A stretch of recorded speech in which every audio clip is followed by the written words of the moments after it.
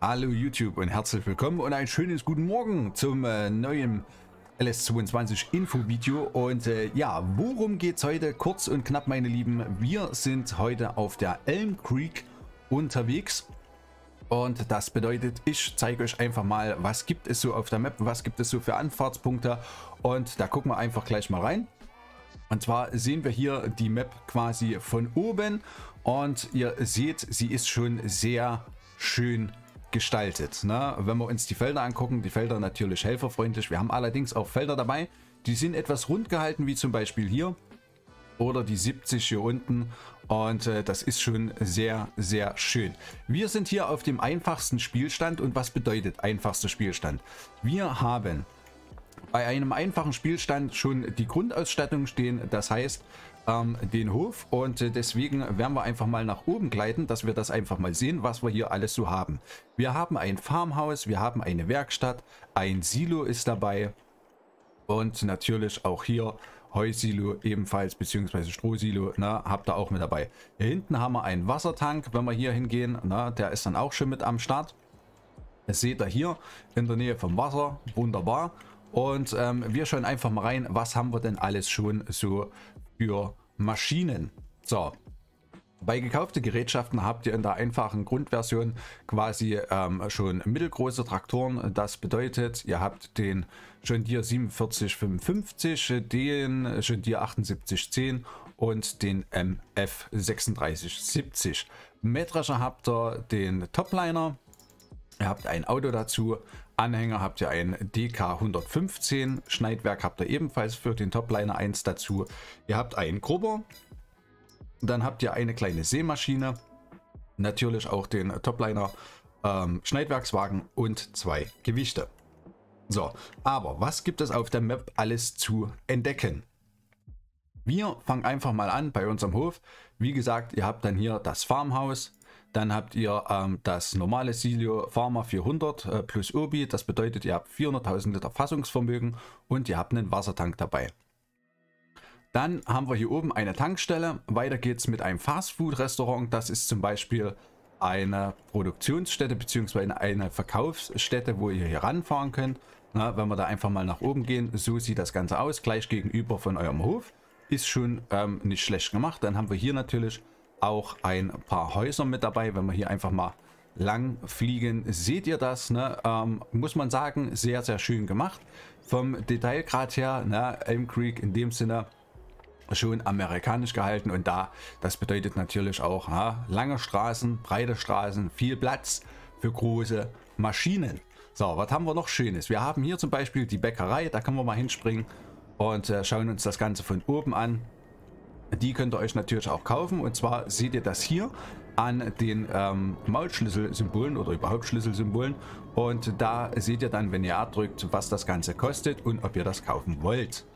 So, was haben wir noch Schönes? Wir haben hier den Fahrzeughändler und äh, ja, da ist natürlich auch sehr viel Platz. Schauen wir uns auch von oben an. Wenn ihr das hier seht, ne, das ist so das ganze Prozedere vom Fahrzeughändler. Und hier, wenn ihr hier auf diese Stelle geht, ne, seht ihr hier, ist auch gekennzeichnet. Wenn ihr da wieder zu dem ähm, Maulschlüssel hingeht und R drückt, dann kann man entweder die Maschinen reparieren, konfigurieren oder verkaufen kaufen. Was gibt es noch alles auf der Map? Wir haben eine Biogasanlage, wenn wir uns die einfach mal anschauen. Seht ihr hier, ist natürlich auch schön groß gehalten. Na, fahrt ihr hier vorne rein. Und äh, da haben wir natürlich auch hier Unterstellmöglichkeiten. Hier hinten haben wir zwei Silos. Dann könnt ihr hier quasi reinkippen in die ähm, Fermenter. Einmal hier und einmal hier. Da haben wir dann auch wieder ein Schraubschlüssel-Symbol. Da können wir auch wieder mit R draufklicken und da könnt ihr sehen, wenn ihr sie kaufen wollt und genug Penunzen habt, könnt ihr euch das Ganze gönnen. Ja, so, dauert ein wenig, bis man die Penunzen zusammen hat. So, was gibt es hier noch Schönes zu sehen? Man kann natürlich auch hier ne, an den Punkten, also es ist wirklich alles ordentlich gekennzeichnet mit den Icons hier. Ne? Da seht ihr ähm, Inladen, B-Laden, ne? je nachdem. Wenn wir mal hier rumgehen, das haben wir hier vorne auch gehabt, Ne, seht ihr hier. Was natürlich auch auffällt, es ist sehr detailreich. Ja, es ist schon, hier könnt ihr dann auch abladen. Es ist schon sehr vom Detailgrad her sehr, sehr detailreich gemacht. Und ähm, wenn wir da einfach weiterschauen, haben wir hier zum Beispiel eine Ölmühle, da können wir auch hinschauen. So, das Ganze sieht dann so hier aus. Die könnt ihr euch natürlich auch kaufen. Seht ihr hier, na, gibt es auch wieder so ein Icon und hier könnt ihr abkippen. Wenn wir uns das Ganze einfach mal anschauen, die ist schon mächtig gewaltig. Ja? So, können wir hier einfach mal den Blick schweifen lassen über das Ganze. Was gibt es noch zu entdecken? Wir haben noch einen Gesteinsbrecher für die Steine, die ihr quasi vom Feld aufsammelt. Die könnt ihr direkt beim Gesteinsbrecher verkaufen. Na, das bringt quasi noch ein bisschen Geld. Dann haben wir noch die Traubenverarbeitung, wenn wir dann einmal hier hinschauen. Na, wenn ihr euch die gekauft habt, könnt ihr natürlich auch hier abkippen. Und guckt mal hier, kleine, aber feine Details, wenn man hier reinschaut. Na, und hört einfach mal die Geräuschkulisse. Ihr hört quasi, es ist schon sehr, sehr gut gemacht. Und guckt es euch hier an, ne? diese Bauwerke, diese Bauwerke, die es hier gibt, das ist schon phänomenal. Wenn wir einfach mal hier rüber gehen, einfach nur um den Detailgrad anzuschauen. Na? Und auch hier wieder. Geräuschkulisse mit am Start. Hier könnt ihr quasi auch abkippen. Hier, wo wir gerade sind, das ist zum Beispiel das Getreide Silo Ost. Na, könnt ihr hin. Dann haben wir hier noch eine Kalkstation. Dann haben wir hier ein ähm, Getreide Silo Ost mit Bahnhof. Na, könnt ihr hier Zug mieten. Wenn wir da einfach mal hingehen, seht ihr hier, wenn wir hier auf das Ausrufezeichen gehen und R drücken. Oh, wartet. Oh, normalerweise. Warte, warte, warte, warte. Ja. Genau, hier oben steht's. Wenn ihr hier R drückt Zug mieten. Zug wird in Kürze ankommen, seht ihr dann hier. So, der fährt jetzt quasi und ähm, kommt dann hierher gefahren. Und den könnt ihr euch dann quasi auch mieten. Und wo fährt der dann jetzt so rum? Das gute Stück, wo ist er? Wo ist er? Ist noch nicht da. Auf jeden Fall könnt ihr euch den Zug mieten. Und äh, wenn ihr jetzt quasi Aufträge habt, hier nach, äh, keine Ahnung, an Arsch der Heide auf gut Deutsch, ähm, dann mietet ihr euch den Zug und verbringt damit das Erntegut oder ähm, sonstiges. So, was haben wir noch Schönes? Wir haben eine Schreinerei, die befindet sich hier und wenn wir da einfach mal horchen, äh, horchen hört ihr natürlich auch wieder ähm, die Geräuschkulisse. Ne? Das ist die schnittische kleine Schneiderei und ähm, äh, Schreinerei. Hier hinten könnt ihr das Ganze natürlich wieder, hier seht ihr, hatten Möbel hergestellt. Hier könnt ihr abkippen und wenn wir hier drauf gehen, ähm, könnt ihr dann logischerweise, wenn ihr hier drin steht, hier in diesem Areal, Ne, fahrt einfach ran, geht hierher, drückt R und dann wird das Holz logischerweise verkauft und taucht dann in der Schreinerei auf. Diese könnt ihr euch natürlich auch kaufen. Seht ihr dann bitte hier vorne an dem Button, da gibt es immer diesen Schraubenschlüssel. So und überall, wo dieser Schraubenschlüssel ist, da könnt ihr äh, agieren, ne, interagieren. In dem Sinne könnt ihr quasi kaufen. So, was haben wir noch Schönes? Wir haben eine Feed and Grain South. So, das heißt hier können wir dann natürlich auch ähm, verkaufen. Ja, das ist auch ein Verkaufspunkt. Wie ihr seht, auch eine riesen Anlage. Es ist einfach, guckt es euch an, wenn wir hier nach oben gehen, na, guckt euch an, wie das hier, na klar, Amerika alles ein bisschen größer gehalten. Ja, und ähm, es ist schon, ist schon mega. Wenn wir hier einfach mal den Blick schweifen lassen, hier so über die Map, ist schon, ist schon sehr, sehr schön gemacht. Was ich sehr, sehr schön finde, das ist so ein kleines Detail. Ähm, wir gehen da einfach mal kurz hin. Und zwar handelt es sich da um das Wasser. Ne?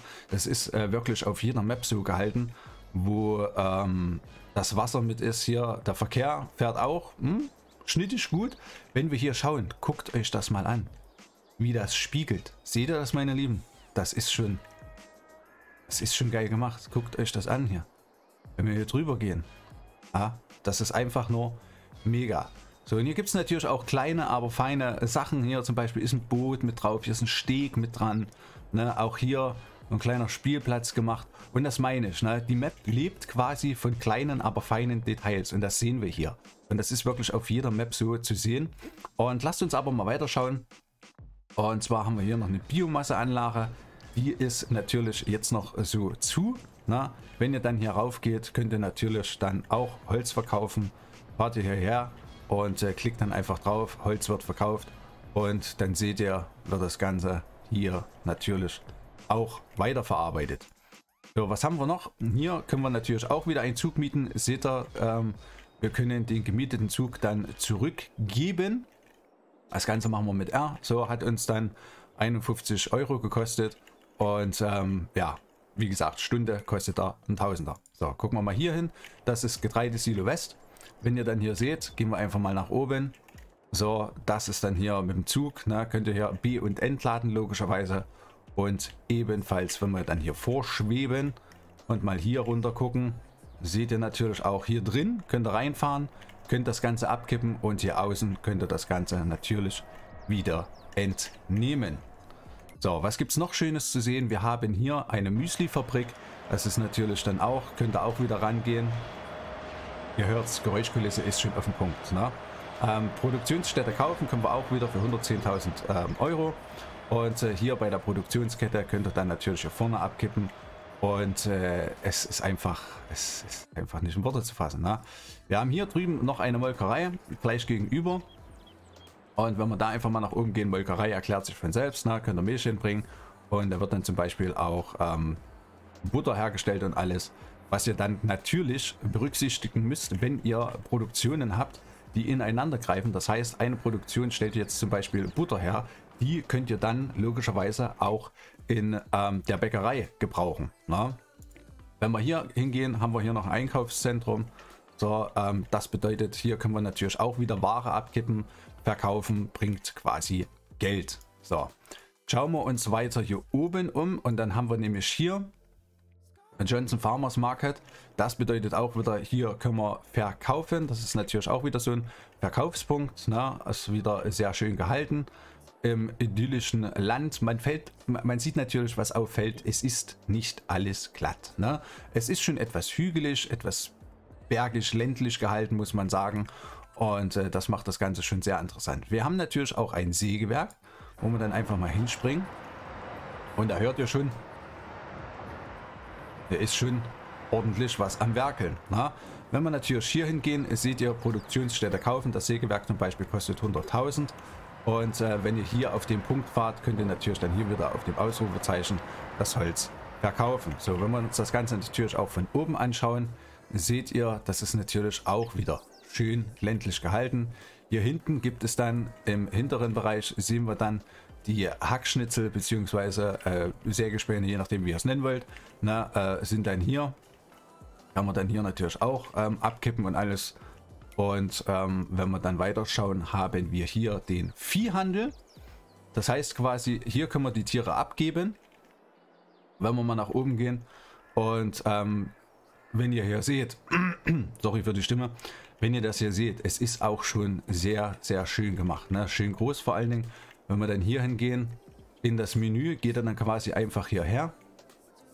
Ach, guck, haben wir denn hier? Was haben wir denn hier? Ein kleines, aber feines Tierchen. So. Können wir auch sammeln. Also, Sammelstücke. Du hast eine Kuh gefunden. Es sind noch neun weitere Kühe versteckt. Also, habt ihr gesehen? Das bringt uns ein Tausender. Macht euch auf die Kuhsuche. so, wenn wir hier R drücken, meine Lieben, äh, wenn wir jetzt einen Stall hätten, könnten wir hier natürlich dann Kühe bzw. Schweine, Schafe, Pferde, Hühner, Bienen oder sonstiges kaufen. Ja? So, was haben wir hier oben noch in der Ecke? haben wir noch die Getreidemühle. Die sieht dann so hier aus. Auch sehr schnittig groß gehalten. Und äh, da können wir natürlich auch wieder, wenn wir hier auf den Schraubenschlüssel gehen, können wir uns das Ganze auch wieder kaufen. Für 96.000 hier zum Beispiel. Und das ist natürlich auch nicht verkehrt. Was haben wir noch? Eine Spinnerei haben wir.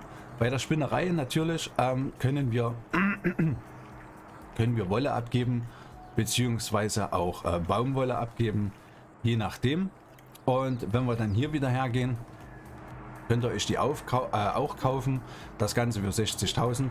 Und da muss man sagen, hier wird dann Stoff hergestellt und den Stoff, meine Lieben, braucht ihr dann in einer folgenden Produktion. Aber wie, was, wo, das könnt ihr natürlich auch gern selbst rausfinden. Ja, bisschen Spielspaß möchte ich euch auch noch lassen. Soll ja bloß eine kleine Vorstellung sein zu der Map. So, hier haben wir natürlich einen kleinen Ball. So, den können wir, können wir gar nicht aufheben. Oh, verdammt. Schade. Schade. Wollte den jetzt, wollte den jetzt herkicken. Aber gut, äh, sei es drauf. Hier haben wir natürlich auch nochmal eine Verkaufsstätte. Na, könnt ihr hier ranfahren. Kegelzentrum. Ist auch sehr schön gehalten. Ähm, ich finde, amerikanisch gemacht ist das schon echt gut. Ne? Fahrt ihr hier hinten rum, könnt ihr abkippen. Und äh, wenn wir jetzt einfach nochmal so den Blick schweifen lassen über das Ganze. Die Map hat schon was. Die Map hat wirklich was, nicht nur von der Größe her, ja, sondern auch ähm, von den kleinen, aber feinen Details, die man hier so sieht. Wir schweben einfach nochmal in Richtung Biogasanlage. Und ähm, ja, meine Lieben, da muss ich sagen, das war's schon mit der Vorstellung zu Elm Creek. Ähm, Wenn es euch soweit gefallen hat äh, mit den vereinzelten Punkten, die wir so angeschaut haben, schreibt es gerne in die Kommentare. Gerne auch so eure Anregungen und Ideen. Was ihr sonst noch so sehen wollt, ihr habt natürlich auch gesehen, es sind aktuell Videos online in Bezug auf die Maschinen oder Anbaugeräte. Da gerne auch vorbeischauen. Und ja, ich sage erstmal Tschüss, bis zum nächsten Video.